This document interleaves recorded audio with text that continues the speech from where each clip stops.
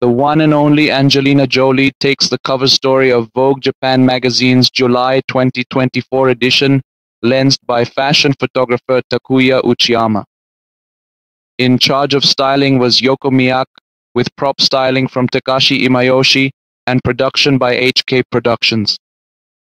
Jolie, renowned for her diverse roles as an actress, filmmaker, and humanitarian, has recently expanded her repertoire as an entrepreneur with the opening of Atelier Jolie in New York.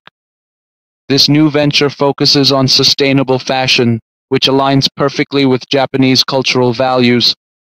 Vogue Japan, recognizing her appreciation for the nation's artisans, hosted Jolie on a bespoke tour across Tokyo, Osaka, and other locales. Subscribe for more exciting videos and press the bell icon. Drop your comments below.